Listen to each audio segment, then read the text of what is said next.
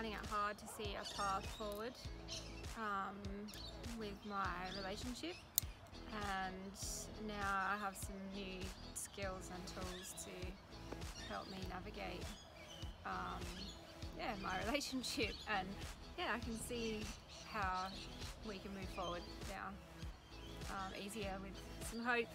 So that's a really beautiful feeling. It's just given me the skills and tools to be able to use in my day-to-day -day life um, that I can like live the life that I want to live. So many tools.